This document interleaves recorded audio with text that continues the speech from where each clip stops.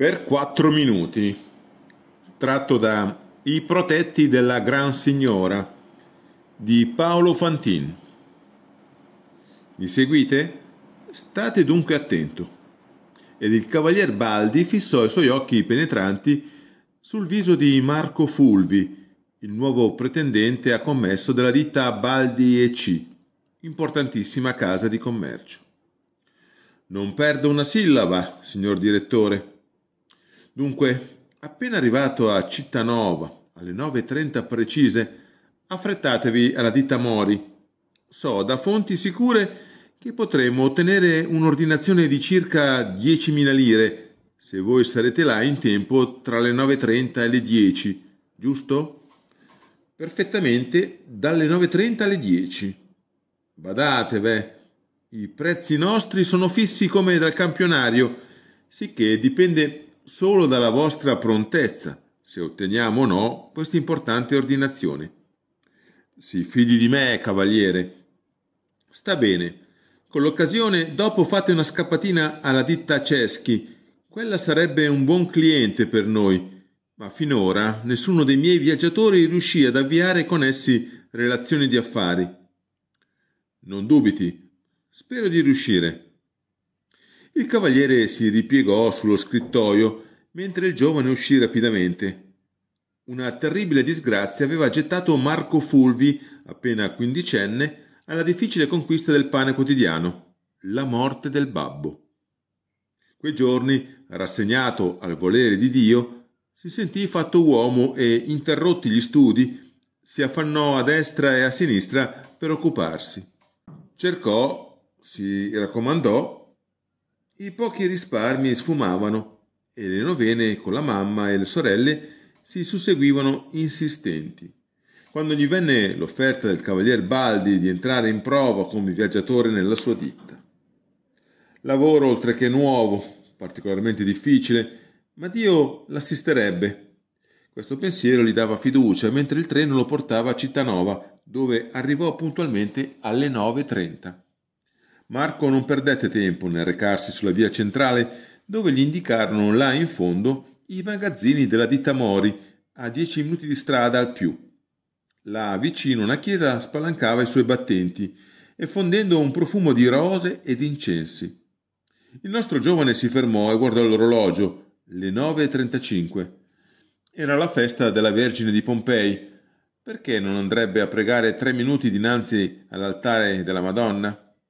Anzi ad accendere una candela per il buon successo dei suoi affari? Egli era in prova e la più piccola malefatta o insuccesso potevano rigettarlo nella disoccupazione. Entrò, pigliò una candela a fianco dell'altare e depose un'offerta. Poi, accesala, recitò devotamente una decade del rosario. Quattro minuti dopo egli usciva e in breve raggiungeva la meta. Un giovanotto usciva allora dalla casa Mori, portando sotto il braccio una busta di campioni. Egli salutò Marco come è uso tra la gente dello stesso mestiere. Sapete se c'è il signor Mori? chiese questi ricambiando il saluto. Sì, è qui nello studio. Grazie, ed entrò. Una certa nervosità gli percorreva la mano mentre girava la maniglia della porta. Il vecchio Mori guardò la tessera di riconoscimento tesagli e disse Ah, voi siete l'agente di Baldi? Mi dispiace proprio, ma ho passato la mia ordinazione al viaggiatore della ditta Effati, che se ne andò or ora. Ah, quel signore, articolò appena Marco. L'avete incontrato? Tanto meglio. Vedete ormai che... E non potreste aggiungere lo stesso per la ditta Baldi, mormorò Marco sbalordito. Voi siete arrivato tardi. Io non ero sicuro che Baldi avrebbe mandato voi. Ora è fatto. Buongiorno. Come ne uscì e come scese i tre gradini sulla via, Marco non seppe, gli pareva di impazzire. Egli, agente in prova, si era lasciato sfuggire una ordinazione di 10.000 lire. Come presentarsi al cavaliere? Che dirgli? E allora pensò alla sua candela bruciante all'altare della Vergine con una certa amarezza. Per quattro soli minuti, quattro minuti di preghiera, ma poi si ricompose e cacciò un po' l'avvilimento.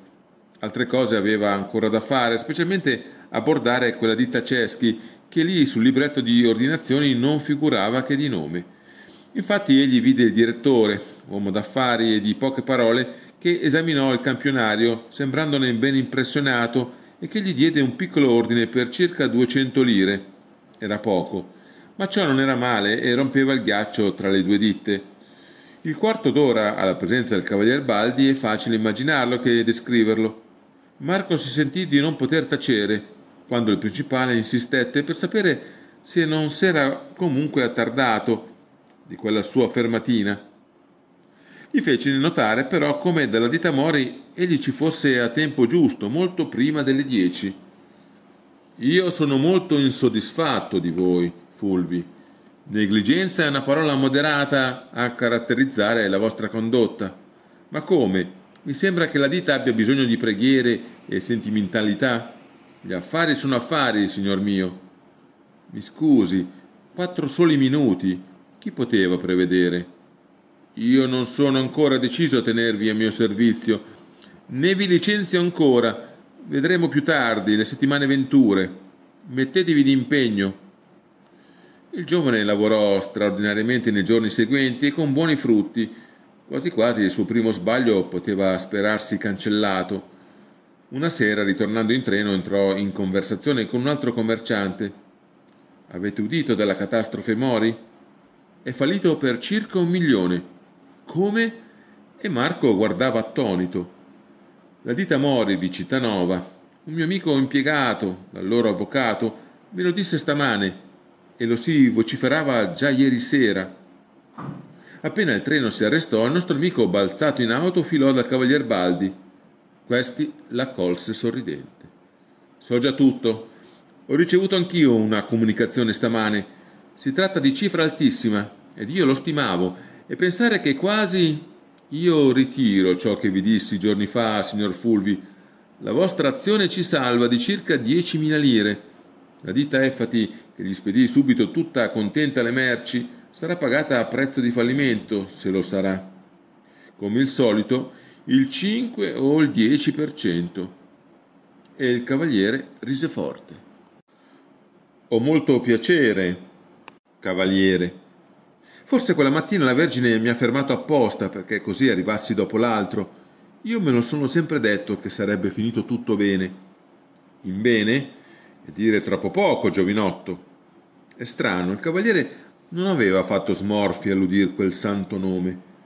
Guardate quassù, e presa dallo scrittoio una lettera datilografata, la tese al nostro amico.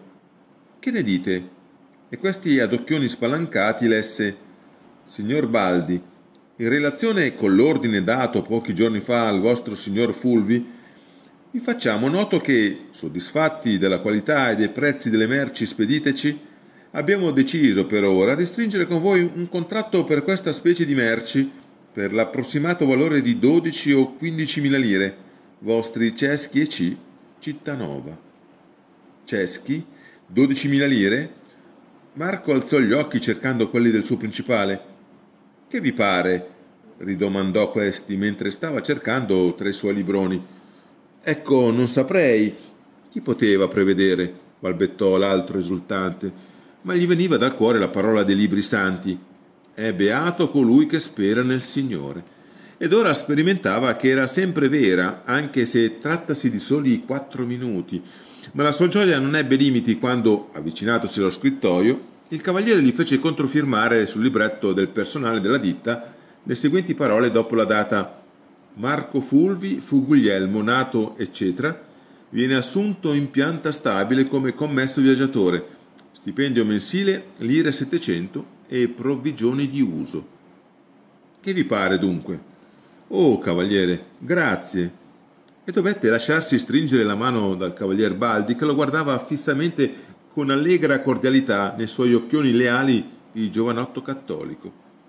Se però il nostro Marco avesse potuto leggere nel cuore del suo principale, avrebbe scoperto che il cavalier Baldi, assumendolo nella sua ditta con lo stipendio di lire 700, aveva fatto, e forse anche di più, il calcolo di prendere al suo servizio, in un certo modo, anche la bontà preveggente della Vergine misericordiosa.